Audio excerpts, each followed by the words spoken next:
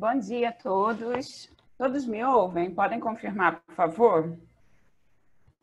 Sim, perfeitamente. Ah, obrigada. Muito obrigada, Fabiano. Bom dia a todos. Mais uma sessão que nós estamos começando dessa jornada de outubro tão interessante, né? É, antes de começar a fazer a apresentação das nossas convidadas de hoje, a Mary e a Denise, e explicar um pouco sobre a nossa sessão, eu gostaria de saudar toda a organização desse evento, os esforços, né? Marli, Luciana, Natália, Fabiano, né? Que está, todo, está herculeamente aí coordenando isso, contando com todo mundo, Maria Cláudia e eu também que faço parte do evento. Saudar essa organização que é resultado de um projeto e lembrar a todos que o projeto é coletivo, é de todos, né? Todos que estão participando e é sempre bom lembrar que a organização é feita de pessoas dispostas e entregues a esse evento. Então, gostaria de saudar muito a organização antes da gente começar, uma tarefa enorme, né? Um mês de encontros e palestras e workshops tão interessantes com personalidades do mundo inteiro, que a gente pode falar que nosso evento está nesse sentido do mundo inteiro, né? Trabalhando. Então, gostaria de saudar muito e agradecer esse convite para ser a mediadora desse evento logo hoje com duas colegas né, da Redarte.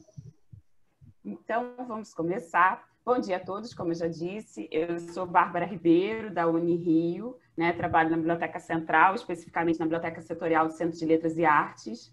Né, nós estamos hoje, sejam todos muito bem-vindos hoje à décima sessão, nem acredito que a gente já está na décima sessão, o que antes, no começo, quando a gente lia na organização do projeto, parecia ser muita coisa, agora já estamos na décima sessão do ciclo de palestras Marcas de Proveniência e Cultura Material, uma realização do grupo de pesquisa Estudos sobre Patrimônio Bibliográfico e Documental do Departamento de Biblioteconomia da Unirio, em parceria com a Oliveira Lima Library, da The Catholic University of America e a Biblioteca de Manguinhos da Fiocruz. Né? Hoje eu vou apresentar duas parceiras, a Mary e a Denise. Nós trabalhamos juntas na Redarte, né, a rede de bibliotecas de arte do estado do Rio de Janeiro. E lembrando a todos que a Redarte ela é uma iniciativa como a organização desse evento, uma iniciativa colaborativa, onde as pessoas trabalham né, e empenham para o crescimento da rede de bibliotecas de artes. Né? Uma das nossas convidadas é a Mary. Mary, Mary, você podia ter um sobrenome mais, mais simples para mim, eu que sou uma lima, falar chincado é... Comato chincado, Comatsu chincado. Obrigada, Mary.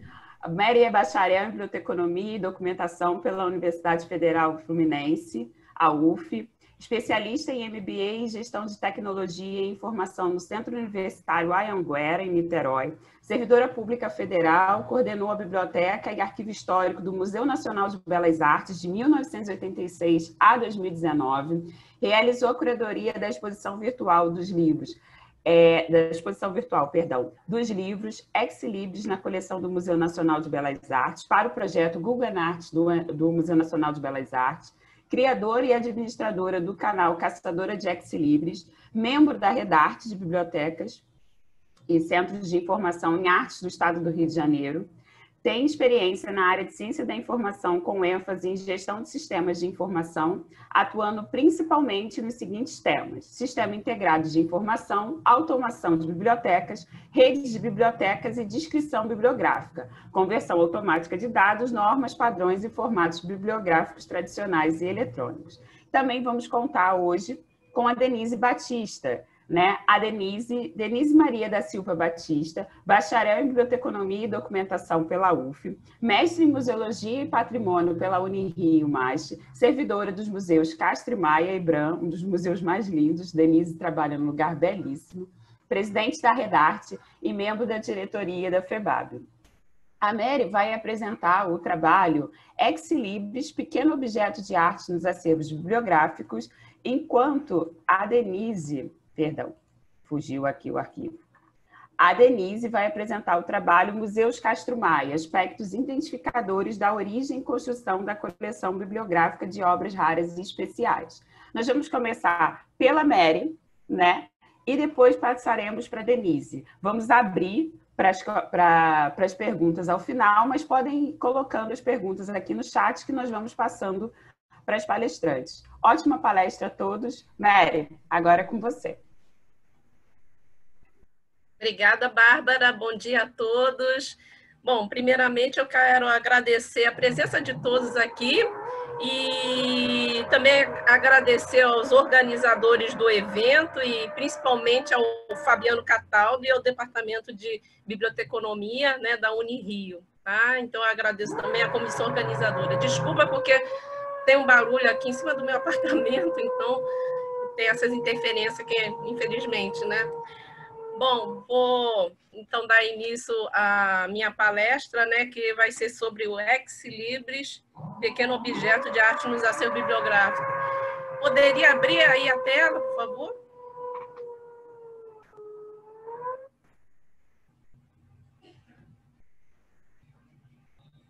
Sim. Então, pode passar? Aqui é a minha apresentação, né, do que eu falarei hoje. Então, eu, na verdade, aqui eu dividi. Eu vou fechar a câmera, por favor, tá? Para ficar melhor. Então, eu dividi a minha apresentação em duas partes. Sendo a primeira, eu, eu faria um breve relato de experiência sobre a construção de uma exposição virtual com a temática sobre ex-libris, nos acervos do Museu Nacional de Belas Artes do Rio de Janeiro para a plataforma Google Art. Tá? E na segunda parte, eu apresentarei as visitas técnicas que realizei em algumas instituições que possuem acervos de ex-libris. Tá? São elas a Biblioteca Nacional do Rio de Janeiro, Biblioteca Pública do Paraná em Curitiba, Biblioteca Central da UNB em Brasília e Museu Imperial e Museu da República no Rio de Janeiro. Bom, aqui, nessa, nesse primeiro slide, é, tem a imagem do, da, da divulgação, né? Do, do, projeto Google, que em 2016, através de um acordo com o Instituto Brasileiro de Museus, IBRAM, e o Google Art, foram convidados cinco museus brasileiros para integrar esse projeto, que foram eles, é, Museu Imperial, Museu Lazar Segal, Museu Histórico Nacional, Museu Castro Maia e o Museu Nacional de Belas Artes. O projeto é, teve como objetivo promover os museus brasileiros e seus acervos, democratizando o acervo, o acesso ao patrimônio institucional através de visitas virtuais dos principais museus do mundo com o uso da tecnologia Street View e imagem em alta resolução das obras selecionadas. É, tem a fotinho também do Museu Nacional de Belas Artes, para quem não conhece, né? É, ele é um dos museus de arte do Brasil que possui a coleção mais representativa de arte brasileira no século XIX é, tem as suas origens nas 54 obras de arte que constituíram parte do material didático da missão artística francesa, e vinda da, para o Brasil em 1816. É, o seu acervo atualmente abriga é, 70 mil obras, né? Dentro desse conjunto, encontramos os acervos museológico, bibliográfico e arquivístico, Atualmente, o museu está vinculado ao Instituto Brasileiro de, Branco, de Museus, que eu falei anteriormente. Próximo slide.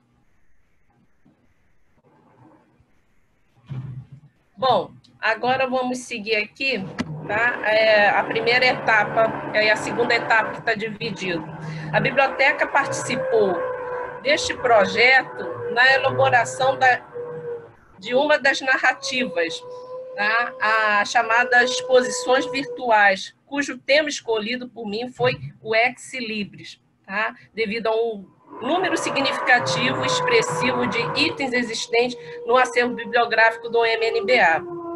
Esclareço que na biblioteca não possui é, uma coleção somente de Ex Libris, tá? Então, foram realizados em duas etapas, como vocês podem estar, tá, estão vendo aí na tela. Né? Sendo a primeira etapa do projeto, foram realizadas buscas de informações em outras bibliotecas brasileiras que organizaram pesquisa sobre a temática. Então, na época, só encontrei uma pesquisa de exposição virtual sobre Exlib, que foi desenvolvida em 2002 pela Biblioteca da PUC Rio. A segunda etapa do projeto é, é, do Google Art foi a inclusão de dados de identificação, os metadados, dos acervos pesquisados na plataforma do Google. Upload das imagens digitalizadas em 1200 dpi de resolução e no formato JPEG. Sincronização dos dados da planilha, metadados e recursos, criação dos layouts e elaboração de texto para a narrativa revisão das informações, inserção de conteúdo dos textos traduzido para, a versão em inglês. Os profissionais envolvidos nessa etapa foram os engenheiros do projeto e os museólogos, arquivistas e bibliotecários do MNBA. Essa foi a parte mais técnica do, do projeto. Tá? Pode seguir.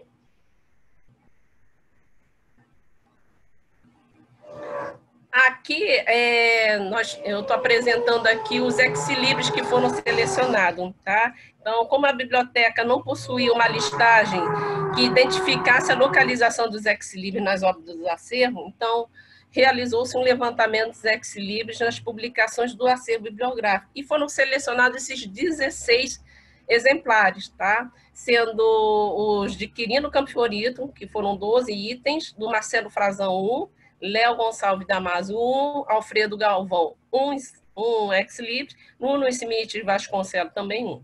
É, os itens encontrados se destacavam pelo valor cultural e artístico ou por ser de propriedade de um artista, tá? Então, vocês podem ver aí os ex-libris na primeira colunazinha aí, né, do, do Quirino Campo Florido.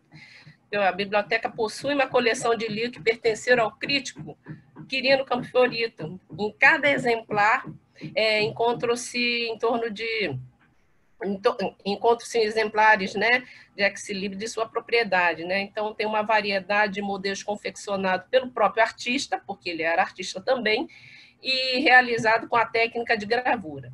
A temática é, envolve tipos populares no universo do trabalho operário ou simplesmente pequenas obras gráficas, alguns com variação de cor tá? E eu até descobri mais tarde, posteriormente, que ele representa muito a família dele, né? A, a esposa e o filho, e ele mesmo. O ex-libre do Marcelo é, Frazão, esse que tem um, um, um animalzinho, tá? É, ele fez a doação das publicações contendo seus ex-libris, que é de sua própria autoria. Inspirou-se na mitologia greco romana e cristã, seguindo as informações do próprio Fazão. O conjunto é composto de três signos. O principal é o basílisco, o animal mítico que transforma em pedra quem o encara. A segunda imagem representa a cruz e a terceira é a imagem de um triângulo que representa proteção e força. O ex-livre foi produzido para sua biblioteca particular e para os livros do ateliê Vila Olivo. Destaca-se também o ex-libris da propriedade Léo Damásio, Gonçalves, ex-librista na publicação Exposição Retrospectiva de Manuel Madruga, de 1952, uma reprodução desenhada por Adalberto Matos. Próximo slide, eu vou falar mais a fundo de alguns outros slides, ou outros ex-libris. Aqui, é, após o levantamento, né, constatou que alguns ex-libris selecionados tinham semelhanças, particularidades com o objeto do acervo museológico, então, é, realizando pesquisas do realizando pesquisa do Ex Libris do Alfredo Galvão e Nuno Smith, tá?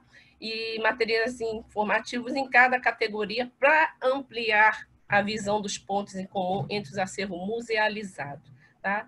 Alfredo Galvão, para quem não sabe, ele foi pintor, professor, historiador e também foi diretor do Museu de Belas Artes no período de 55 a 1957. Aqui encontramos um ex-libris dele né, na coleção de obras raras, no livro Dicionário Biográfico Universal, de autoria de Gegarolo. Gegarolo. É, em dois volumes, tá? Aqui só está mostrando um, datado de 1907 e doado pelo próprio Alfredo Gavão. Está na, no setor de obras raras, tá? Próximo slide. Aqui, continuando, né, é, o Alfredo Galvão, no ex-individual Alfredo Galvão, então realizou-se uma pesquisa exaustiva. Para a construção desse, desse, dessa narrativa, teve que se fazer uma série de pesquisas. Tá? É, no sistema, nós realizamos pesquisa no sistema do Donato, Né? Para quem não sabe, é um sistema de catalogação dos acervos musealizados lá do Museu Nacional de Belas Artes, tá?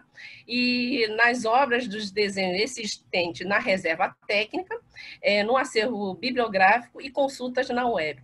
Mas em um vídeo intitulado Escola de Belas Artes, Galeria das Mais Ricas Existentes na América do Sul, esse é um vídeo que foi produzido pelo Cine Jornal informativo em 1956, apresenta a galeria de moldagem naquele período e observou-se, né, eu observei que tinha uma obra na exposição, era a mesma imagem desenhada no ex-libris do Alfredo Galvão. Tá? E a obra em questão é esse esboço que vocês estão vendo aí acima, mais clarinha, tá?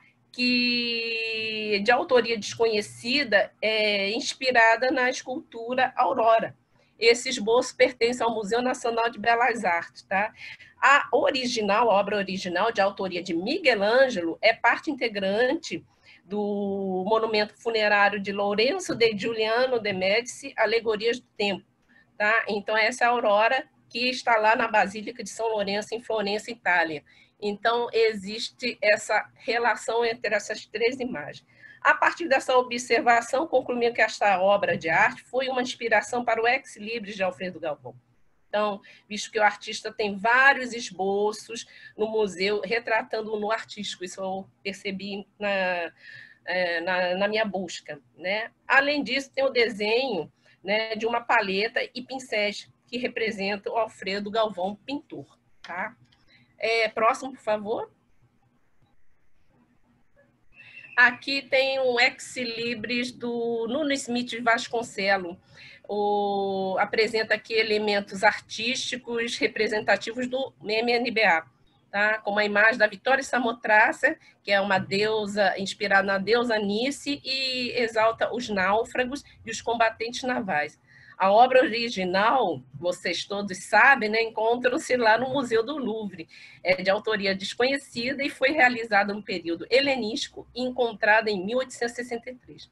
O Museu Nacional de Belas Artes também possui uma moldagem em gesso, é, peça que foi doada em 1929 pelo governo francês. Tá? Então, acrescentamos também essa imagem, né, porque achei ela muito bonita também, né? Ela tem um significado muito grande para mim pessoalmente, tá? E, e também essa, esse ex-libris também fez parte também da primeira exposição brasileira de ex-libris no MNBA, realizada em 1942, uma, uma importantíssima exposição. Ah, e aqui do lado também tem a imagem do quadro da Vitória Samotraço de Eliseu Visconde, também acervo do MNBA. Próximo, por favor. Aqui é a primeira exposição brasileira de ex-libris, tá? realizada no Museu Nacional de Belas Artes em 42, né? E aqui é, são duas fotos que vocês estão vendo, né? Do arquivo histórico, tá? É, lá do museu, né? encontrei essas fotos magníficas, só tem essas duas imagens, tá? E esse ao lado é o catálogo também produzido, tá? E, e tem lá esse impresso lá, né? Mais tarde também descobri que tem é, documentos é, documentos primários, né? No arquivo histórico, como recortes de jornais, é, documentos, é, reportagens, achei bem interessante, mas na época não tinha descoberto, né? Então, selecionamos essas imagens, é, selecionamos algumas imagens é, do catálogo né, para compor a narrativa. Tá? Próximo slide.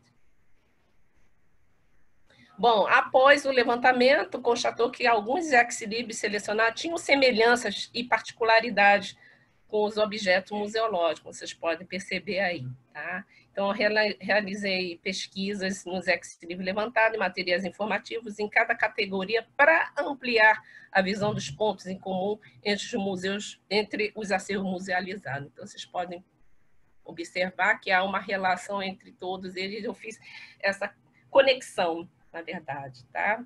Que eu achei bem interessante. É, próximo, por favor. Aqui, é, após a conclusão, né, intitulei aí que uh, a narrativa dos livros ex-livre nas coleções do MNBA, né, que pode ser acessado na plataforma Google Art do Museu Nacional de Belas Artes, É, esse projeto foi lançado no sétimo Fórum Nacional de Museus na cidade de Porto Alegre em 2017. É, e atualmente, na época só tinha nove narrativas, atualmente nós já temos 17 narrativas. Tá? Quem puder, acesse o Google Art, entra no Museu Nacional de Belas Artes, está ali. Ou Ex Libris também vocês encontram. E, e eu só encontrei realmente uh, uma curadoria da parte de, de uma bibliotecária, só encontrei essa no Google Art, tá? Então, eu acho que isso é uma vitória para quem é da área, tá? Bom, próximo slide. Bom, agora vamos seguir para a segunda parte, que são as visitas técnicas. Tá? Eu vou falar um pouquinho. Eu estou correndo porque o tempo é curtíssimo. Bom, aqui, é, a partir dessa experiência com a exposição virtual, eu fiquei muito motivada a pesquisar mais sobre os ex-libris, conhecer essa etiqueta que fica tão escondida entre os livros e de suma importância como registro histórico de marca de proveniência. Então, é, no período de 2018 a 2019, eu realizei visitas técnicas em instituições culturais que possuíam em seus acervos os ex-libris. Foram as seguintes instituições: Biblioteca Central da, da UNB em Brasília, Biblioteca Nacional no Rio de Janeiro, Biblioteca Pública do Paraná em Curitiba, Museu Imperial do Rio de Janeiro e Museu da República no Rio de Janeiro. Tá? E, além disso, eu também destaquei outras coleções que eu tenho, né? Eu tenho ainda por meta conhecê-las pessoalmente, né? Assim que a pandemia terminar, claro. Vamos para o próximo slide. É, aqui é o primeiro local que eu visitei, a Biblioteca Nacional, né, possui importantes coleções, como a coleção Diogo Barbosa Machado e a coleção Conde da Barca, né, que trazem suas publicações marca de propriedade como os ex-libris. Segundo a bibliotecária Mônica Carneiro, que apresentou palestra outro dia, tá? nossa colega, coordenadora do acervo é, especial na Biblioteca Nacional, ela disse que possui aproximadamente 10 mil ex-libris, inclu, incluindo de diversas doações. Uma das coleções de ex-libris avulsos, pertencente à coleção Floriano Bicudo Teixeira foi doada entre a década de 40 e 50. A Biblioteca Nacional está condicionada em caixas próprias por ordem alfabética pelo dono, totalizando 12 caixas. A Biblioteca Nacional também guarda uma verdadeira relíquia, que é o primeiro ex-libris no Brasil, datado nos fins do século XVIII, que pertenceu a Manuel de Abreu Guimarães, desenhado e gravado em Buril pelo padre Joaquim, jo, José Joaquim Viegas Menezes, tá?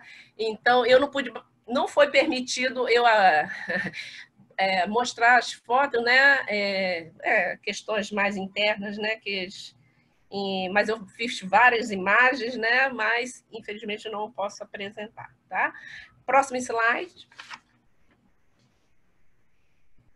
Aqui é a Biblioteca Pública do Paraná, lá em Curitiba, né? Então, a coleção do Eli Azambuja Germano foi adquirida pela Biblioteca Pública do Paraná em 1982 através do apoio financeiro de entidades bancárias do Estado, do Estado e da colaboração do historiador David Carneiro. É a única no gênero né, existente no Paraná. Possui 3.317 ex-libris nacionais e estrangeiros de diversas procedências, inclusive de personalidade parana, paranaense. Entre as raridades, aqui é, destaca-se os ex-libris do Diogo Barbosa Machado, né, português datado em 1730, feito pelo gravador flamengo Franz Herring, né, o colecionador Elias Ambuja ele produziu listagens, né, como vocês podem estar vendo aí ao lado, né, na imagem à direita, né, contendo uma breve identificação de cada ex-libris. Essa coleção é, ela está atualmente guardada na sala de obras raras e estão classificados em seis categorias: tipográfico, comemorativo, alusão heráldica, instituições simbólico e paranaense. Tá? Próximo slide. Em, aqui, é, em 2005, através de um projeto de conservação, a coleção de ex-libris da Biblioteca Pública do Paraná, ele viabilizou a higienização e revitalização desse acervo, né? porque eles não chegaram assim tudo bonitinho. Então, foram confeccionados um paspatu para cada ex-lib e diferenciada por cores. Paranaense é a cor pinhão, tipográfica a cor pardo, comemorativo azul cobalto, alusão heráldica azul escuro, instituições vinho e simbólicos na cor verde. Cada ex-libris está condicionado e mobiliário especialmente confeccionado para a guarda destes exemplares. Tá? Ficou muito bonito essa coleção, muito bonito mesmo. Tá? Estão bem acondicionados. Próximo slide.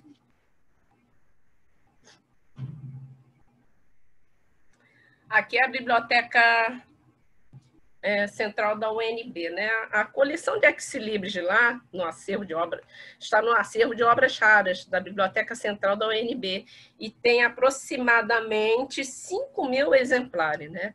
Proveniência desse acervo não está clara e não possui nenhum registro indicando a sua procedência, tá? É, a Biblioteca Central adquiriu as bibliotecas de grandes colecionadores entre os exemplares brasileiros, destacam-se figuras no meio intelectual, político institucional, como Rodolfo Amoedo, Odete Barcelos, é, Paulo José Pires Brandão, Américo opa, Américo Jacobina Lacombe, Nuno Smith Vasconcelos, entre outros. Então, eu destaco aqui a, a, que a professora e pesquisadora, né, Estela Mares Bertinazzi, que todos conhecem, estudou e recuperou esse acervo no início da década de 80. Tá? Há também duas coleções de grande importância, né, que é a coleção Romero Brito, Romero Pires e Jorge Oliveira. Romero Pires foi um dos grandes participantes da primeira exposição brasileira de ex-libris que eu comentei anteriormente, tá? em 1942 e sua coleção é composta de 252 ex-libris que foi doada em 1963. Tá? E quanto à coleção do Jorge Oliveira, é, é, é, foram doadas em 2018 e é composta de 2.500 ex-libris. Foram produzidos por diversos artistas e originários de diversos países. Uma grande parte desses ex-livros já estão digitalizados e disponíveis pelo website, tá? É, é, são mais em, em, torno de 175 itens, tá? Na primeira imagem, como vocês podem ver, é a exposição da é, os ex-libris da primeira exposição municipal de ex-libris, tá? desenhado por Alberto Lima, e na segunda, é, ex-libris do Arquivo Nacional, desenhado pelo Rodolfo Amoedo, tá? Pode seguir. Continuando aqui na Biblioteca Central da UNB, também existem esses exemplares de outras nacionalidades, como o ex-libris da Espanha, Portugal, Japão e Alemanha, sendo em grande parte século XX. São todos coloridinhos, são lindos, lindos mesmo. Em 2018, com a preocupação de organizar a coleção de Exlib, os bibliotecários elaboraram um documento contendo as diretrizes para a gestão e processamento técnico deste acervo. Tá? É um documento bem bacana. Próximo slide. A... Aqui é o Museu da República. A Jenny Dreyfus foi museóloga e especialista em, em sigilografia, desenvolveu uma bela coleção de ex-libris nacionais estrangeiros, pessoais e institucionais, com 1511, que foi doada ao Museu da, República, Museu da República em 76. Figuram, além de seu próprio ex-libris, ex-libris de Álvaro, Baixo Tigres, Clóvis Bornai entre outros. Tá? A coleção Geni ela está sob a guarda do Arquivo Histórico no Museu da República. O arranjo foi concebido pela colecionadora, contendo informações com o nome do ilustrador, técnico utilizado, nome do colecionador, entre outros. Os ex-libris estão colados nesses formulários que vocês estão vendo, elaborado pela própria Geni e acondicionados em caixa confeccionada pela própria instituição. Segue. É, aqui vocês podem ver, tem uma tabela né, dos arranjos, coleção identificada com, seguindo as normas arquivísticas, tá? Vocês podem ver isso no, no site deles. Pode seguir. É, aqui é o Museu Imperial, a coleção do Museu Imperial está arquivada na biblioteca, com aproximadamente 135 itens, sem uma clara procedência dos ex-libris. São diversos ex-libris avulsos, entre eles Félix Pacheco, Frei Pedro Zing, Américo Jacobina, Gustavo Barroso, José Watson, entre outros. Esses ainda não estão catalogados, enquanto se guardado em, em dez pastas por ordem alfabética do colecionador, discriminado em uma listagem. Pode seguir. Bom, esse aqui é aquele caso do ex-libris atribuído que eu encontrei, que a Jandira citou na outra palestra, tá? Então, ela não tinha, a Biblioteca Nacional não tinha esse conhecimento, tá? Então, foi uma descoberta. Pode seguir. Aqui é a tabela, né, que eu fiz o levantamento, né? Então tem de cada biblioteca os itens, a procedência, tá? Tudo aí já discriminado direitinho. É, pode seguir. Vamos agora para as considerações finais. Então, a construção da narrativa virtual, né, sobre ex-libris, proporcionou maior visibilidade ao acervo do MNBA, como é como para essa preciosa marca de proveniência, como objeto de arte, dentro de uma coleção bibliográfica. Constatamos que houve necessidade de informações estarem registradas e atualizadas. Por exemplo, houve dificuldade na busca de fontes do, no acervo arquivístico, por estar parcialmente tratado e ainda não está informatizado. Percebemos durante a construção da narrativa a necessidade de sistemas integrados entre os três acervos essa integração é pertinente e necessária para compartilhar os recursos informacionais de forma rápida e clara, viabilizando é, melhor gerenciamento das coleções da instituição como um todo e melhores resultados na pesquisa. Após a narrativa virtual, identificamos na biblioteca em torno de 700 ex-libris no acervo bibliográfico e 9 ex-libris no acervo museológico. Tá? É, segue. Bom, quanto às instituições visitadas, observei que não existe uma política de aquisição definida para o recebimento dos ex-libris provenientes de colecionadores. Há também uma crescente preocupação com relação à organização dos ex-libris por parte dos bibliotecários, mas pelo fato de não existir no Brasil um instrumento de catalogação e classificação específico para os ex-libris, acaba gerando muitas incertezas e dúvidas para o tratamento deste material é relevante a necessidade de um glossário padronizado para identificação exata de cada marca de proveniência, a digitalização e um sistema de armazenamento de dados sobre as marcas de proveniência que venha atender essa lacuna nas instituições. Eu coloquei aqui um, um, um trechinho, né, da, de acordo com a Cortez, tá? É, o livro tem o poder de legitimar os ex-libris enquanto, enquanto mar, uma marca de propriedade, dotada de valores artísticos Entretanto, é interessante refletir seu papel como um item de coleção independente do livro, visto que ele é colecionado e objeto de desejo pelas suas características formais e artísticas que expressam a cultura humana através da arte, tá? Pode seguir.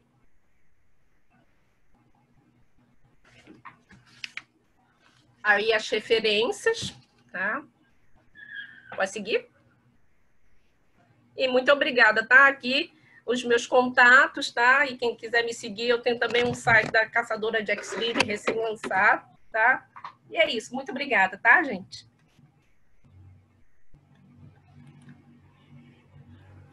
Obrigada a você, Mary. Muito, muito obrigada pela sua palestra. É, vou deixar para fazer as considerações e as, as colocações depois que a Denise terminar, que aí a gente faz as colocações todas, tá? E aí, aproveitando para deixar aqui para você muitos comentários parabenizando pela palestra. Excelente mesmo, como sempre, Mary. Agora, Denise, podemos contar com a sua participação e a sua apresentação, por favor? Sim, sim. É...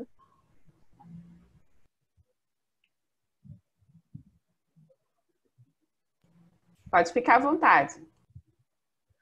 Bom dia a todos. É... Eu sou Denise Batista, como já disse a Bárbara. Estou muito feliz de estar aqui com vocês. Agradeço ao professor Fabiano Cataldo, ao professor Stephanie e todos os envolvidos né, na coordenação técnica do projeto A Eloquência dos Livros, marcas de proveniência bibliográfica.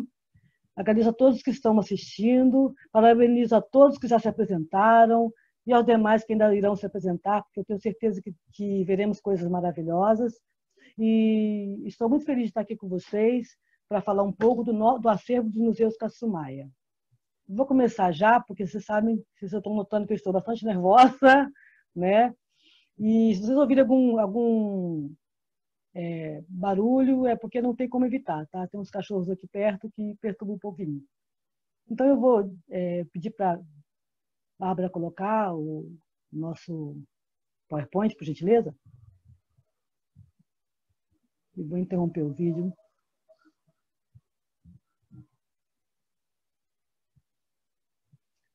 Então, Museus Castro Maia, aspectos identificadores da origem e construção da coleção bibliográfica de obras raras e especiais. A coleção de obras raras do, do, do Museu Castro Maia é, é, parte da Biblioteca Castro Maia, que também tem a coleção geral, que é onde normalmente eu fico, a sala em que eu fico, porque a, a coleção de obras raras está na, no espaço da exposição dos Museus Castro Maia. E ela tem, entre seus autores, Jean-Baptiste Debré, é, Ruguendas, Spix Márcios, Barléus, e que se destacam na, na coleção é a coleção brasiliana e a coleção Sem Bibliófilos do Brasil, que reúne 23 livros publicados pela Sociedade dos Sem Bibliófilos do Brasil. Essa Sociedade dos Sem Bibliófilos do Brasil foi fundada pelo Castro Maia em 1943. Ele, Castro Maia é, quis, nessa, com essa coleção, é, homenagear os, os, escritores né, é, brasileiros e os artistas brasileiros. Então, ele uniu os escritores, os escritores brasileiros que tinham de, de renome e os artistas plásticos também de renome para fazer essa coleção.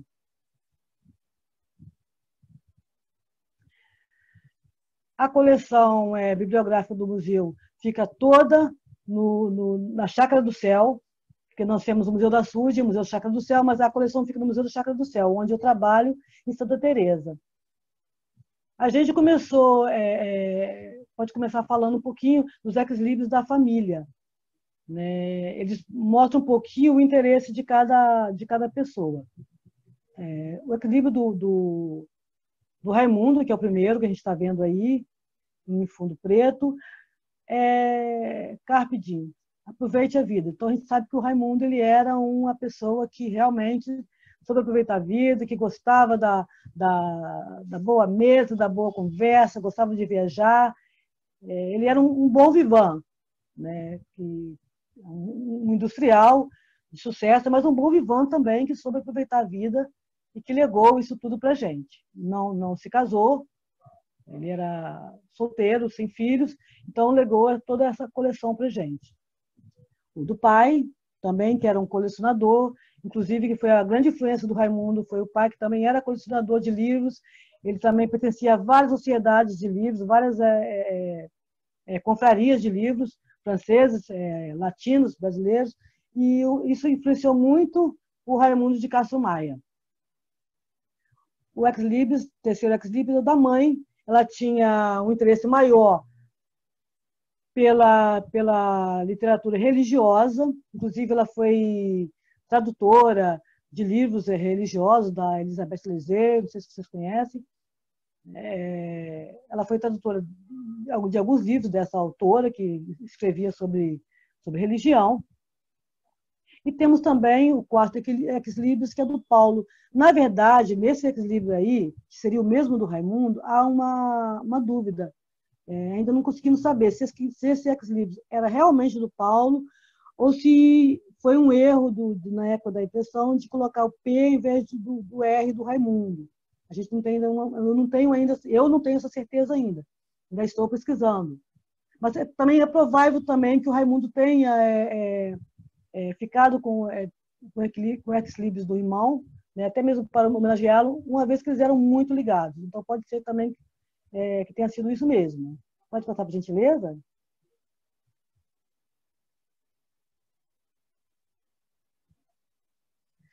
Sobre a metodologia, é, nós, eu iniciei esse estudo é, pela identificação dos ex-libris de cada membro da família e de terceiros.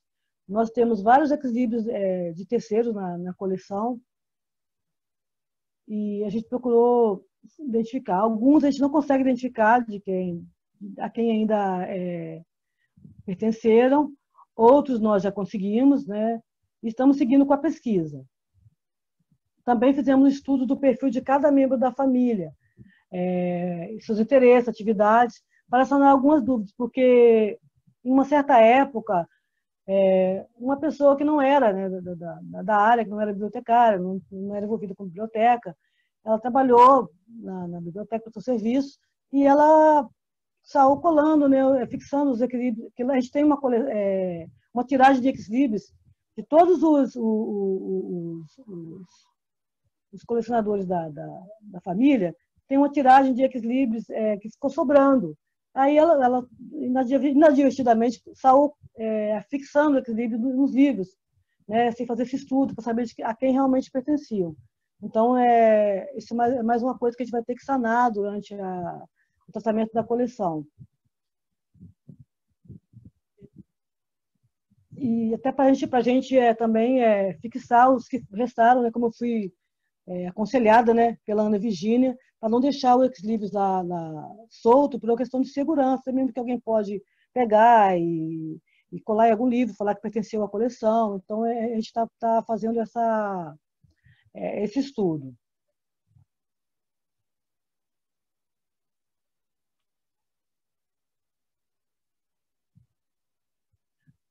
É, no cadastramento de cada item também na base de dados, a gente notou que houve é, é, houve algum, é, houve, tinha algumas também é, incongruências, né?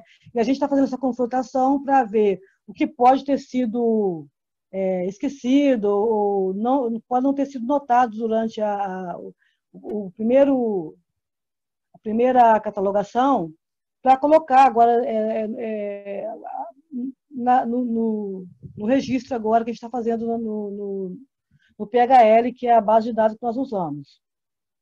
Sobre a fundamentação teórica, é, os estudos vem, é, de marca de proveniência vêm ganhando relevância desde que, em 1992, a Unesco, né, é, Organização das Nações Unidas para a Educação, Ciência e Cultura, tomou para si a responsabilidade com a proteção do patrimônio biográfico mundial, por meio do programa Memória do Mundo, é, reforçando, a partir dessa atitude, a percepção de bibliotecas como patrimônio cultural, Ainda que, segundo a Berta e Napoleone, que são nossos colegas aqui, é, embora pareça um tema consolidado para profissionais e estudiosos, a literatura aponta dificuldades recorrentes, resultando numa insuficiência teórico-metodológica e legal para identificar e preservar o patrimônio bibliográfico como patrimônio cultural. Nós também é, é, utilizamos é, na nossa bibliografia, nosso, nosso estudo, fontes como Rodrigues, Cataldo e Loureiro, Freire,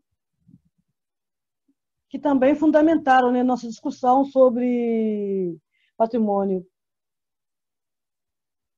sobre acervos como patrimônio cultural, de valor histórico e econômico, a ser protegido e a utilidade das marcas de proveniência cuidadosamente descritas pelo catalogador, seja na prevenção ou na recuperação desses bens em caso de extravio ou de perda. Pode passar, por gentileza?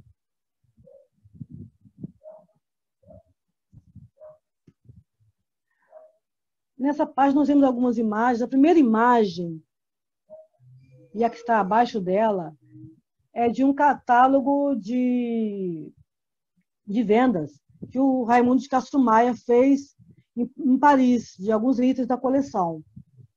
Ele vendeu muita coisa que era, que era do pai, né? E entre as coisas que ele tentou vender, que ele pensou em vender, talvez até esse, esse talvez até esse, esse inventário é, é, é para ver o que poderia ser vendido, provavelmente não foi feito somente por ele, outras pessoas estavam envolvidas. Então, entre as coisas que deveriam ser vendidas estava esse livro, que é o do Baudelaire. Só que eu já vi, inclusive, já li, inclusive, muitas é, histórias sobre esse livro, como ele teria retornado à coleção, essa coisa toda, né? Até como se fosse até uma coisa mágica, né? Que anos depois o Raimundo tivesse é, buscado esse livro e conseguido é, trazer ele de volta para o acervo, mas não foi. Vendo essa, essa, essa, essa fonte primária, que é o catálogo da, da do, do, de leilão, eu descobri que tem uma anotação que ele fala, eu fiquei com ele. Então, ele não vendeu esse livro na época, então por isso que esse livro retornou à coleção. Uma vez que tivesse sido vendido, ser um livro muito bonito, muito valioso, uma encadernação maravilhosa, muito bem, as imagens são maravilhosas, provavelmente não teria conseguido é, de volta. E eu também quis é, colocar alguns encadenadores que, um dos que mais encadernou livros para o Raimundo, que também era um amante da, da, encadernação, então ele fazia sempre questão de, de fazer a encadernação dele, ou, ou, em Paris, ou em brasileiros que fossem muito bem recomendados, então Valélia era um desses brasileiros, e tem muitos livros lá que foram encadernados pelo Valério. Tem também abaixo é, há duas livrarias que ele normalmente frequentava para adquirir esses, esses, esses objetos né, bibliográficos. São muito mais livrarias, eu coloquei essas duas aí, uma em Paris e uma no Brasil. E acima da, da livraria de, de Paris tem uma dedicatória que foi feita para o Paulo. O Paulo, é, aí já dá para ver, o Brasil Sociedade das Nações, o Paulo era, era ligado à política, ele era do Partido Liberal, né, e ele foi, como, como o irmão, o Cristiano também é, é, morreu muito, muito jovem, né? E tem, muita, tem muitas referências a ele pelo Raimundo. O Raimundo era muito ligado a esse irmão. Pode passar por gentileza? Como consideração final, é, da análise preliminar de, da coleção de obras raras e especiais da Biblioteca Cassumaia, além de evidenciar as falhas nos processos de registro e catalogação do acervo, também serviu para enfatizar a importância dos estudos sobre marcas de proveniência, bem como a importância do trabalho de excelência do profissional catalogador para a segurança do patrimônio bibliográfico da instituição onde esteja exercendo tal função. Sobre também a importância das marcas de proveniência, é, eu posso falar também de um caso particular nosso. Né? a gente sabe que o acervo do, do Museu Cassumaia sofreram dois roubos, um na década de 80 é, onde levaram pratarias, é, pinturas. As pratarias não foram devolvidas, obviamente, mas a, as, as, pinturas é, foram devolvidas, que eram até de Portinari, que foram devolvidas na época. Provavelmente esse assalto foi feito por. não foi feito por quadrilha especializada, provavelmente foi por amadores, então talvez por isso que a, que a prataria não tenha sido é, devolvida, porque é mais fácil de você é, descartar, né, é, fundir. Então, é, desse, desse assalto, a gente conseguiu de volta os nossos portinais. Mas em 2006, um pouco antes de eu entrar no Carnaval de 2006, um pouco antes de eu entrar no museu, o museu sofreu uma grande perda, né, que foram os, foi o roubo, né, muito comentado, virou livro, assunto de livro, inclusive, é, de quatro telas, né, olhos sobre telas, um do Dali, eram as obras mais preciosas do acervo, Dali, Matisse, Monet e Picasso, e, e, e, também o livro de Picasso, que era o Todos, né? E isso acendeu também né, em mim essa, essa, essa importância né, de se fazer, de fato, o registro das marcas de proveniência. Eles podem ser muito, mas muito úteis na recuperação desses acervos. A gente não recuperou nenhum desses acervos, infelizmente, né?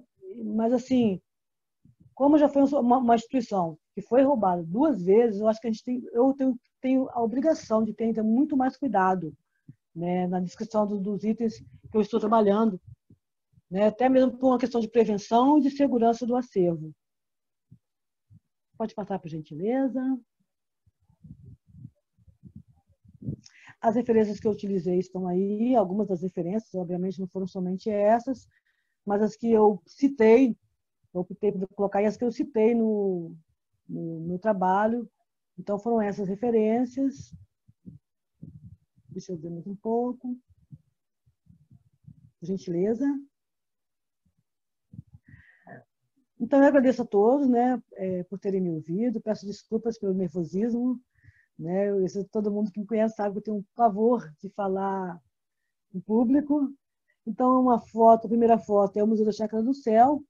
É, quem não conhece, ainda não, não, conhece, eu convido a conhecer, porque é um museu assim, maravilhoso. Espaço. Eu, eu falo que eu, realmente estou no céu, estou num espaço privilegiado, eu tenho a vista é, maravilhosa da cidade do Rio de Janeiro, e uma parte de Niterói também, que é uma cidade que eu amo, porque eu estudei na UF, né? então eu tenho uma ligação muito forte também com Niterói, tenho amigos que moram lá, assim, inclusive a Mary, outras pessoas, e, e, eu tenho essa vista privilegiada, né? que é a vista do Rio de Janeiro e a vista de parte de Niterói, da ponte de parte de Niterói.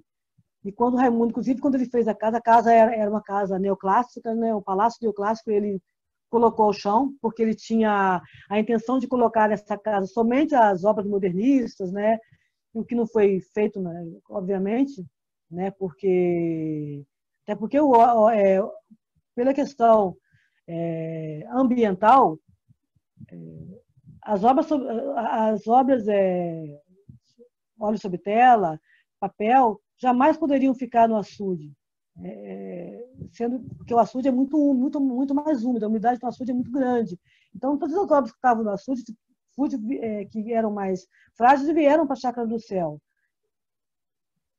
E o açude, que é a terceira, que é a terceira imagem, também é um espaço muito bonito. Né? Ele foi doado pelo Castro Maia em, ainda na década de, de, de 60, né? foi aberto em em 74 para o público e o Museu da Chácara do, foi aberto em 60, 66 para o público e o Museu da Chácara do Céu foi aberto em 72. O Raimundo morreu em 68, ele deixou os dois em, em testamento para para a cidade do Rio de Janeiro, né, para o Rio de Janeiro. E hoje o museu pertence, né, era uma fundação, Fundação Cassumaia, agora o museu pertence, desde 1980, ele foi incorporado pelo governo federal e agora pertence ao IBRAM. No meio está uma foto da coleção Bibliófilos do Brasil, que é uma das nossas referências da coleção, muito procurada, muito pesquisada. Muito obrigada a todos. Obrigada a você, Denise. Excelente apresentação, como sempre é sempre bom ver alguém envolvido com um acervo que trabalha. As apresentações têm uma, uma, um tom bem diferente, que é um tom de, de, de paixão, né? Que é o tom. Eu acredito que o trabalho com paixão retire a gente do trabalho alienado, né? Do trabalho por fazer. E as marcas de proveniência têm muito disso. Eu vou pedir para você e a Mary abrirem as câmeras agora para a gente ir para a parte do, dos debates aqui, de falar. Gostaria de dizer que a, a, a, palestra de vocês foi muito, muito elogiada, muito comentada, né? É, muito, muito comentada, muito elogiada.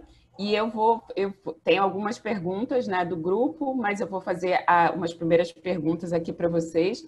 Primeiro é saudar né, esse, o trabalho das duas, que envolve a Redarte, e que essa, essa identificação e essa valorização das bibliotecas de museu, que são bibliotecas de museu, né, ela, elas levam a gente para essa importância, porque muitas vezes a gente, dentro de instituições que são maiores, nem sempre nós temos tanta relevância, né? Nós, eu digo no caso dos bibliotecários e as bibliotecas, e vocês conseguem mostrar é, toda a relação do acervo com o acervo de com o acervo do museu, ou seja, a biblioteca reflete o pensamento de quem estava formando essa coleção. Então, as bibliotecas de museu elas têm uma importância para a formação do, do, das coleções muito importante, né? E vocês estão sempre ressaltando isso, o quanto as bibliotecas elas espelham os acervos, espelham também quem veio, né, a dirigir. E aí, é, gostaria de, é, de Mary e Denise, tanto faz quem vai responder primeiro, né?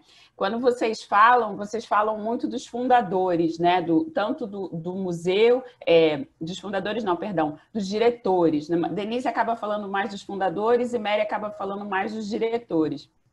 É, quanto, é, quanto eles são retratados nas coleções, né? Pelos seus ex-libris, pelos seus gostos e tal. Como é que vocês pensam isso no, no, desenvolvimento de acervo de uma biblioteca museal? Vocês acreditam que elas tinham assim muito mais é, a influência de quem estava dirigindo ou, ou havia um compromisso em pensar nessa relação que vocês fazem tão naturalmente do acervo com a do acervo museal com a biblioteca? O que, que vocês acham?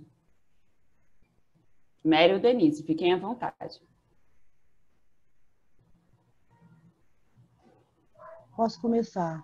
Na verdade, assim, eu, eu, é, eu não posso deixar de falar é, de forma mais pessoal desse acervo da biblioteca, porque realmente foi um acervo formado pelo fundador. Então, ele tem, ele tem a marca do fundador, muitas obras em francês, porque o francês era uma língua que distinguia né, o pessoal da elite, né, a língua de distinção, e muita, muita obra ligada à arte, realmente né, aos gostos do Raimundo, a culinária. Né? Então, é, tem realmente a marca do, do, fundador. Mas, ao lado dessa biblioteca, nós temos a Biblioteca de Acervo Geral, que já é uma biblioteca mais ligada, de arte, mais ligada à, à contemporaneidade, é a biblioteca de pesquisa do museu, e é a biblioteca que a gente está formando, pensando no museu, hoje na museologia, na biblioteconomia. Então, essa biblioteca é mais ligada mesmo à contemporaneidade, Obviamente que ela tem conta muita história do acervo, a história do Rio de Janeiro, que tem uma parte dessa biblioteca de obras gerais, também é de obras da época do, do Raimundo, e ele tinha esse carinho muito grande pela, pela cidade do Rio de Janeiro, era uma paixão, embora ele tenha nascido em Paris, né? porque na época o pai estava como cônsul em Paris, mas a paixão dele pelo Rio de Janeiro é assim inconfundível, ele realmente era apaixonado, então assim muita é, nós temos muita história do Rio de Janeiro na, na coleção de, é, de, do acervo geral. Então, muitas pessoas também procuram a biblioteca para isso, para pesquisar a história do Janeiro.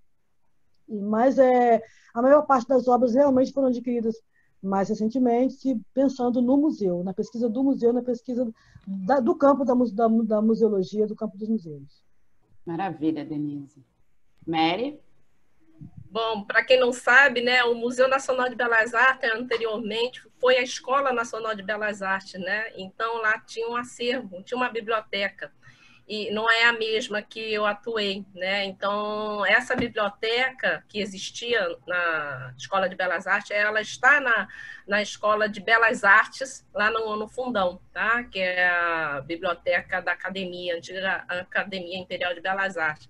Então, ele está no setor de obras raras.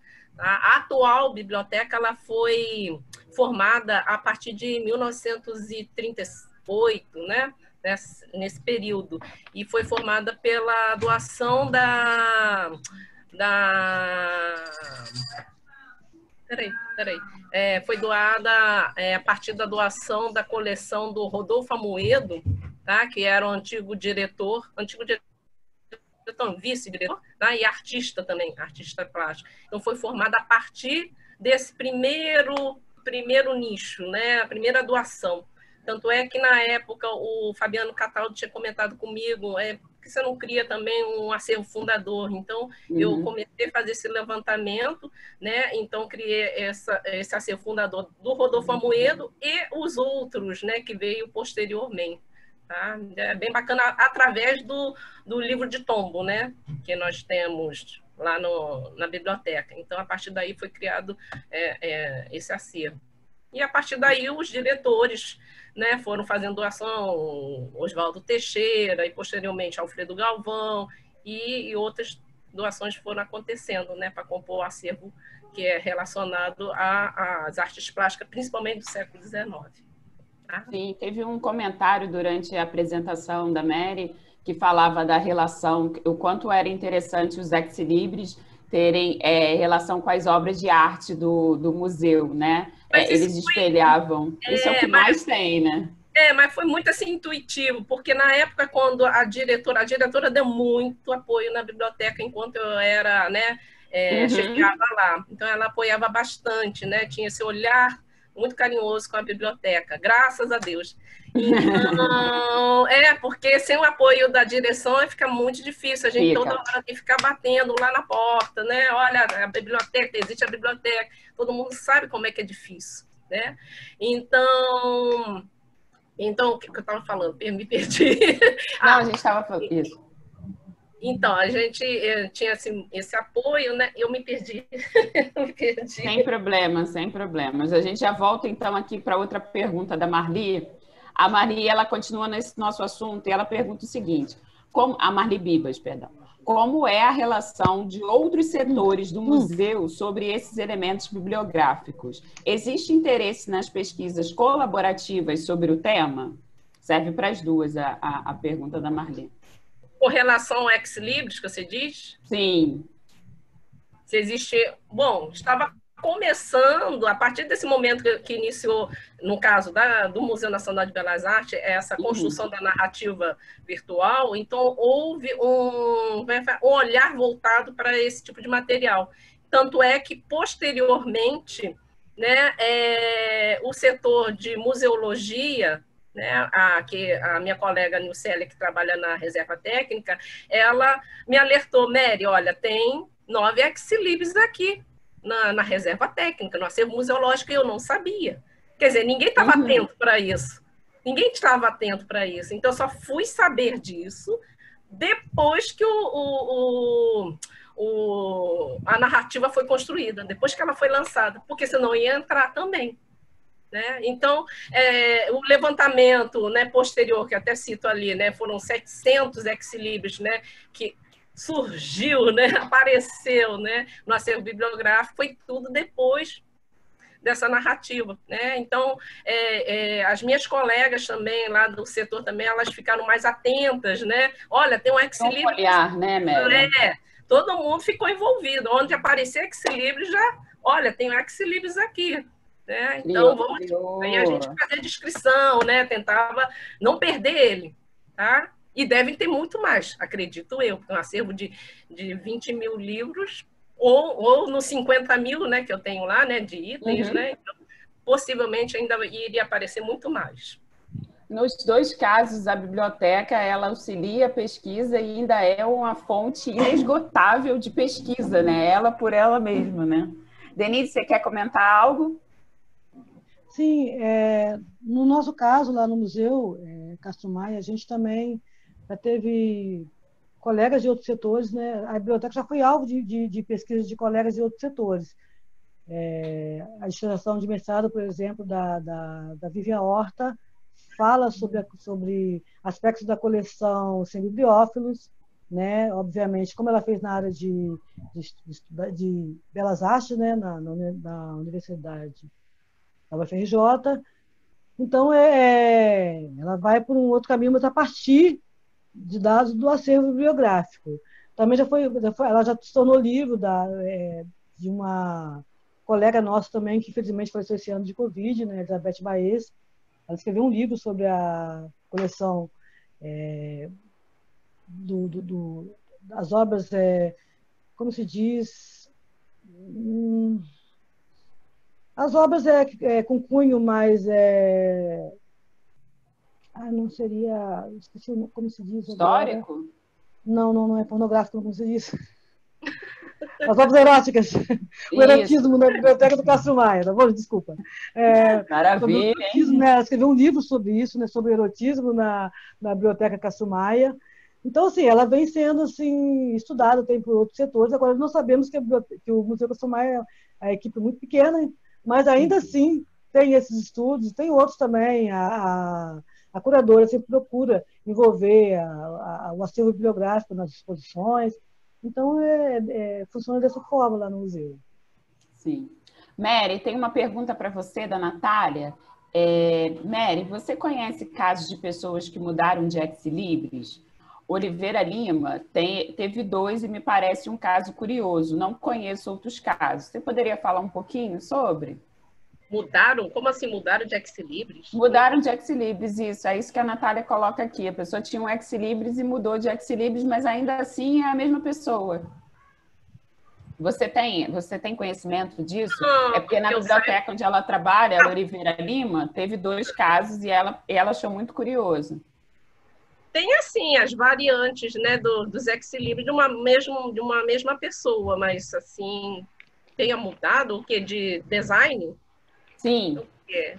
Sim, por exemplo, o Quirino Camfiorito, ele teve várias versões de Ex-Libris, várias, né? Não sei se você percebeu em um slide ali onde tem a, o levantamento dos, dos 16, então 12 são do Quirino Camfiorito, eu tenho muito uhum. mais. Então tem na cor vermelha, tem em formato de peixe, tem a, a, a, o retrato né, da família dele, né? Que é o pescador, ele se retratava ali. Né? Então tem variações ali né, de ex-libris. Né? Então, ele, uma única pessoa, ele mesmo produzia seus ex-libris, porque ele era artista plástico, tá? E, então, ele mesmo produzia os ex-libris e ele, fazia o ex-libris do jeito que queria. e colava nos livros, né? E o colava livro nos era livros. dele, né? É, o livro agora, era dele, o ex-libris é, dele. É, ontem eu tive uma live lá do Museu Mariano Procópio né? E também tem essa questão, né, que a viscondessa ela colava os livros em alguns livros determinadas, não, o seu ex-libris. Então eu não sei se em alguns livros no Quirino Camfiorito, por exemplo, a representação do peixe, ele colava em determinados temas. Isso eu teria que analisar, tá? Então realmente eu, eu que existe existe, tá? Que existe existe essas variações. No caso do Quirino, ele extrapolou. É, a Natália está explicando que é o seguinte: não é uma variação, é um, um outro totalmente diferente. Mas isso você está retratando que acontece. Totalmente diferente, totalmente diferente. Totalmente Sim. diferente. Se que acontece, a pessoa vai é. lá, cansa e de Não, repente. É, ele fez de peixe, ele fez de uma família, é, depois ele fez é, ele sozinho, ele fez ele com um peixe. Quer dizer, tem variações, sim, é Sim. bem diferente, é bem diferente. Não é assim só, é, por exemplo, peixe com variação de cor, não. Tá? Então, uhum. formatos também diferentes. Desenhos. Então, acontece da pessoa mudar de ideia e mudar o ex-libris, isso deve dar um trabalhão na pesquisa, né? É, isso é, no deve caso dar um dele trabalhão. Foi. No caso dele, foi. Para identificar, né? Para saber que é, que é dele. Denise, então, é, tem uma outra pergunta aqui para você. O acervo da coleção Castro Maia já está disponível em base bibliográfica para consulta? E o acesso é restrito? Quem pergunta é a Rosângela Rocha. Vão Olha, a, a coleção do acervo geral está no PHL. Então, é, embora não esteja no, no, no site do, do museu, você pode acessar pelo site da Redarte. A coleção de obras raras a gente está começando a colocar agora, incluir agora. E até tenho que conversar com você sobre isso, tá? É a Von Held, não é isso? Isso, é a Von Held. Você, tá bom? Pronto, viu, Rosângela? Você já foi perguntar e já conseguiu mais um pouco de trabalho na sua vida que é que você já tem poucos, né? É, Mary, deixa eu te fazer uma pergunta. A primeira exposição de Ex-Libris, né? Eu gostaria que você comentasse mais um pouco, porque na apresentação teve que ser um pouco mais, um pouco mais, é, mais rápido, né? Mas a primeira exposição de Ex-Libris, ela é muito importante, porque vai pontuar, né? Você pode falar mais um pouco e pode contar por que, que foi no, no Nacional de Belas Artes? Olha, é, o Oswaldo Teixeira é que ele fez todo esse movimento, né? Ele era diretor na época, né? Então fez, ele tinha amigos, né? Ex-librista, então tinha esse movimento naquela é um burburinho, né? Dos ex-libristas e, e tinha essa sociedade, né? Então eles resolveram de fazer essa, essa grande exposição no Museu Nacional de Belas Artes que aconteceu em 42, né? E ali também foram expostos ai, ai 700, mais de 700 ex-libris somente do Nuno Smith Vasconcelos, né? Então ele era um grande ex-librista na época, ele tinha uma coleção enorme. E, e também tem, como eu falei para vocês, né, tem no arquivo histórico, descobri também, tudo isso foi posteriormente, né, no arquivo histórico, tem documentação né, é, é, reportagens, troca de documentos né, da direção com os, alguns ex-libristas, chegada de doação, é, doação não, a chegada da montagem, né? Então, toda esse, essa documentação que, que envolvia a, a exposição está lá, né? Mas, infelizmente, como eu até falei, né, não está, é, essa questão de não estar é, catalogado o acervo arquivístico, então isso dificulta bastante na localização. Isso eu fui catando, catando e, né, e, e por acaso me esbarrei, mas isso foi depois que o, o projeto foi construído. Então, essa exposição realmente ainda teve um valor, teve a primeira e a segunda exposição. E ambos têm essa produção desse catálogo. Tá? Que é muito relevante, né? Muito, muito interessante, relevante Mas e estratégico. Tem um, é, tem um apoio muito grande do, do Oswaldo Teixeira, né? na época diretor da casa. Então, eu, eu, eu acredito eu que ele trouxe, por, por ele ser diretor, trouxe essa exposição para lá. Para dentro do Museu Nacional de Belas Artes. É. A, a Ivani de Grazia comenta para as duas, né? Queridas Mary e Denise, uma das primeiras exposições da vitrine da biblioteca do MASP foi sobre Ex Libris. Foi uma exposição em parceria com a ONB, organizada pela Estela é, Mares Figueiredo. Foi no início da década de 90, 1990. Olha. Parabéns pela pesquisa e um grande abraço. Obrigada. A, a Mônica Carreira, que completou aqui a, a parte do Ex Libris, foi a imagem da capa do catálogo foi feita por Carlos Oswald, foi uma complementação. Mas essa, esse comentário da Ivani é interessantíssimo, né? Muito relevante. Eu porque... não sabia. É, olha, vou conversar com a Ivani. Oi, Ivani. Isso, Ivani. Isso aí já mostra. Denise, você pode falar um pouco para a gente da importância da coleção dos 100 bibliófilos estar tá lá na, na, na, biblioteca que, que, você, que, que você trabalha e lá no museu? Porque, é, particularmente, é uma pergunta minha e uma paixão também, porque eu, eu acho muito estratégico, né? O, o Castro Maia vai ser, uma, como você disse, né? um bom vivan da sua época, um industrial, enfim. Mas ele tem uma preocupação em deixar um legado cultural da época que ele vive muito, né? Ele se preocupa muito em, em de alguma forma, é, manter vivo o legado cultural da época em que ele vive, em que ele é um colaborador também, né? E essa coleção dos 100 bibliófilos não está lá à toa. Você poderia falar mais um pouco? Então, essa coleção dos 100 bibliófilos, ela foi é, ela é fruto da Sociedade dos Bibliófilos do Brasil, que foi fundada pelo Cássio Maia. Né? Ele participou de muitas confrarias de bibliófilos, muitas é, é, organizações de bibliófilos, tanto no, no, Brasil quanto no exterior, e ele tinha esse desejo de fundar também uma confraria. Na verdade, ele, só, ele fez essa sociedade dos Bibliófilos do Brasil e também fez a Sociedade dos Amigos da Gravura porque também ele era um, um entusiasta da gravura, embora a gravura na época, a gravura na época não fosse tão valorizada, ele queria valorizar a gravura. Ele era entusiasta da gravura, então ele fundou também a Sociedade dos Amigos da Gravura.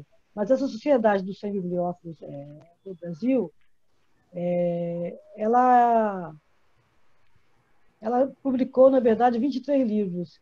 E uma curiosidade é que o, que o, que o Raimundo morreu em 68, que foi o ano que saiu com o Padre Diogum. Não uhum. tinha esse livro na coleção, porque por algum motivo né, se perdeu, né, é, as pessoas que ficaram na época não, é, não conseguiram, é, de repente, é, não se ligaram nisso, né, e ele ficou sem esse livro, essa coleção ficou sem esse livro, até a década de 80.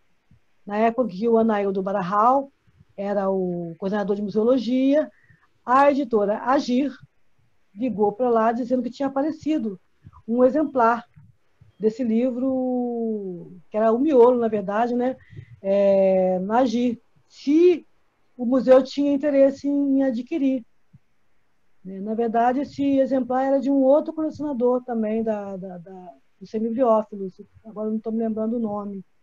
Então, o museu adquiriu, adquiriu esse exemplar ele ficou muito tempo é, guardado, é, separado da, da coleção, porque a coleção do Raimundo toda, ele tinha essa preocupação de encadernar, as pessoas recebiam, na verdade, o um miolo, encadernavam se quisesse, né? cada um fazia o que colocaria a encadernação que quisesse. Ele encadernava muito, é, todos os, os, os exemplares, né? normalmente ele mandava encadernar na França, é, ou com o encadernador também do Brasil, um treinador de ponta, né, que ele considerasse de ponta, bem recomendado. E esse livro, então, a gente, a gente conseguiu encaderná-lo há uns dois anos. E ele foi, então, é, fazer parte também da, dessa, da exposição. né, porque esses livros ficam expostos né, num lugar especial. É, então, é, é, a, a, grandeza dessa coleção é isso, é, é você estar divulgando ao mesmo tempo os grandes escritores da época e os grandes artistas plásticos. Tem, é, muitos livros são, alguns livros são é, ilustrados por, por Portinari, que era o, o, o, artista plástico da época, né, um dos mais famosos. Tem alguns uhum. que são pelo Di Cavalcante, né? Eles eram amigos, obviamente, né? Esse pessoal frequentava, né? Se frequentava, eles eram da elite, então se frequentavam. É, Portinari tinha uma amizade bem firme com, com, com Castro Maia, né? Se frequentavam. E tem várias cartas dos dois, né? E muitos colaboravam também na, na, na, na sociedade. É, Darel também era, foi um grande colaborador da Sociedade Sem Bibliófilos é, de Janira também. Então, assim, você for olhar a coleção, tem, é, é, dá até para você estudar quem eram os artistas que estavam na crista da onda, da onda na época, tanto na, na literatura quanto na, nas artes plásticas. É muito interessante esse aspecto. É essa, essa coleção ela tem, ela é uma fonte inesgotável de, de pesquisa, né? A Com Maria certeza. Lúcia Befa, ela, ela comenta aqui que o Silvio Portugal, jurista, participou dos 100 bibliófilos, né? Parte da sua biblioteca está na Faculdade de Direito da USP, né? Para você saber. Meninas, vocês gostariam de falar é, mais alguma coisa, de deixar alguma, mais alguma mensagem, né, de, de, de falar, mas eu não canso de dizer que as duas bibliotecas, óbvio, estrategicamente, são bibliotecas fundamentais né, para o pro, pro retrato, tanto do que a Denise terminou de falar, que é, as coleções elas vão refletir muito o que se pensava de arte, né? Você quer estudar a, a arte, ela é um manancial de pesquisa absurdo, além, claro, de estar dentro de museu, então vai dar, vai, é, vai completar com as obras de arte, mas também pelos seus fundadores a gente consegue entender muito da formação de coleção, né? Acredito que essas bibliotecas elas ensinam muito para gente formação de coleção a olho nu, né? Tipo, você fica ali, tipo, tá ali na sua frente uma formação de coleção, uma política, ideologia política da época, é, frentes, questões. Os ex-libs eles vão reforçar e vão explicar muito para gente quem estava ali, quem botou a mão,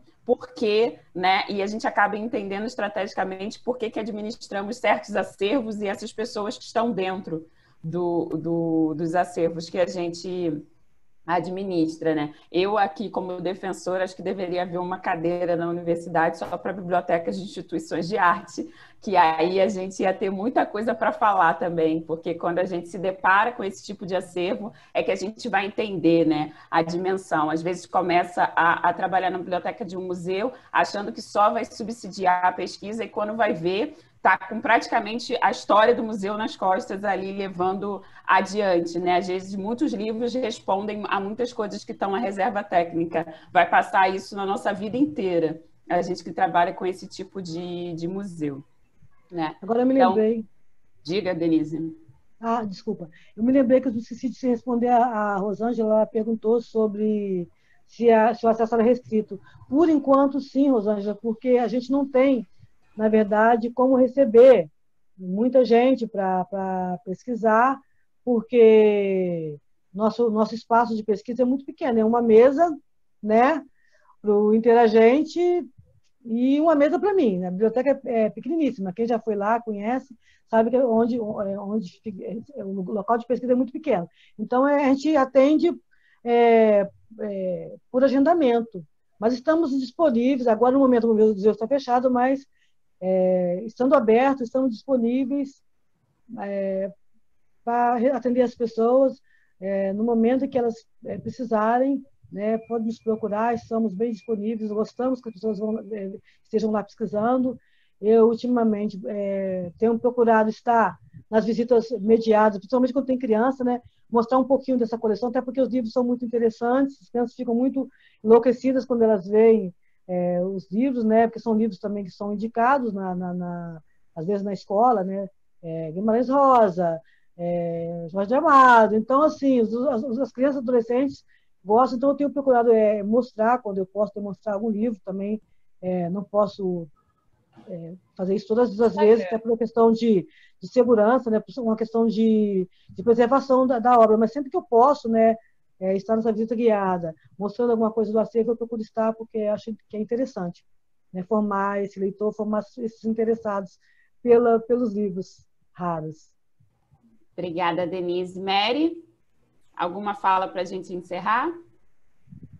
Bom, é, Bom, eu não posso nem convidar mais para ir para o Museu Nacional de Belas Artes, porque eu estou aposentada, né? Então, é, é, é, triste, né? Porque por conta da minha aposentadoria, as outras colegas acabaram se aposentando também. Infelizmente, a biblioteca está fechada, não por conta só da pandemia, mas por conta mesmo da saída do, dos servidores, e principalmente bibliotecários, né? É, é uma tristeza isso, né? É uma tristeza mesmo. Mas mas, enfim, lá tem uma riqueza muito grande de, de, de, de acervo, né? E eu acho que é importante ainda ter eh, outras pessoas também para continuar dar continuidade ao trabalho e eu acho que a Exilibris vai aparecer muito, muitas marcas de proveniência também, né, que eu acabei descobrindo também com o passar do tempo. Eu acho que é importante, é, eu vou continuar fazendo esse tipo de trabalho, né, vou investigar em outras outros espaços, agora estou livre, leve e solta, né? Então, vou fazer essas pesquisas, continuar, é importante, né? É, tanto os ex marca de proveniência, seja né, todo esse tipo de, de é, conteúdo que que a gente tem que valorizar sim, tá? Então, é, eu agradeço né, a participação de todo mundo. Né, espero que eu tenha atendido. Foi muito corrido. Né, a apresentação que eu fiz, eu já fiz a apresentação só sobre o projeto Google Art, né, quase uma hora, então eu tive que reduzir muito. Então, eu espero que gostem, tá? E quem quiser acessar o Google Art, eu falei, só ir lá no projeto Google Art, MNBA, e você encontra o, a narrativa virtual, tá? Tá é isso.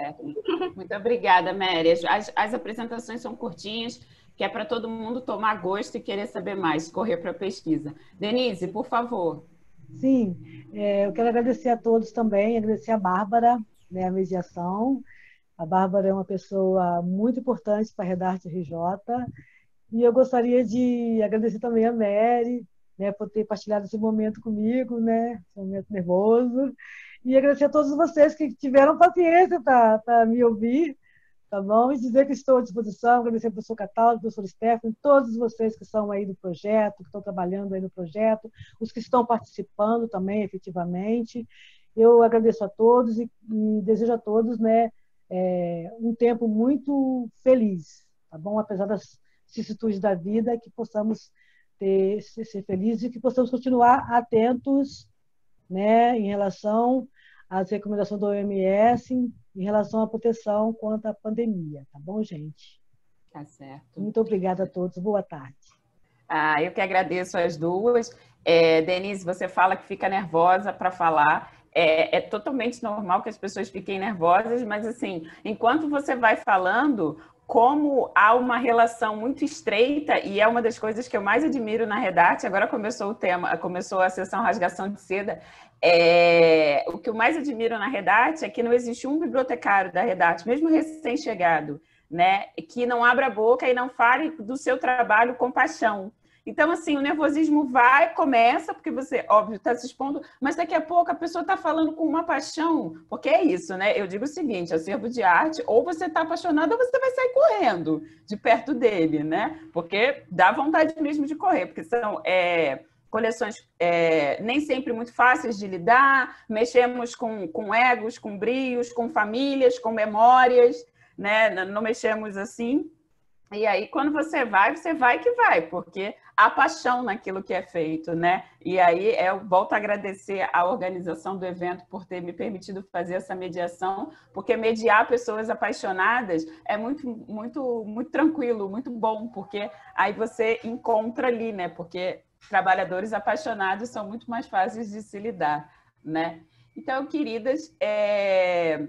Muito obrigado vocês, né, pela apresentação. Todos aqui mandam beijos e agradecem. Vocês acredito que nessa loucura também não estão olhando o chat, mas existem muitas parabenizações para as pesquisas de vocês. O Marcelo Calheiros diz que a, a Denise é uma querida. Isso é, é como ele escreveu várias vezes. Eu não vou perder aqui, Marcelo Calheiros que a Denise é uma querida, estudantes de biblioteconomia escrevendo que são muito inspirados em vocês. Então, Mary, mesmo que tenha se aposentado, continua fazendo a diferença, é isso que importa.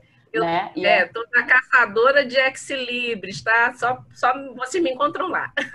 Aposentada do museu, mas ativa, muito mais ativa que muita gente por aí. Então, queridos, obrigada a todos que estão participando, obrigada mais uma vez à organização né? E a todos que pensaram esse projeto, esse ciclo de palestras, lembrando que mais tarde nós temos a 11ª sessão, tá certo? Muito obrigada a todos, bom dia aí, muito obrigada, obrigada Mary, obrigada Denise, um beijo a todos, obrigada.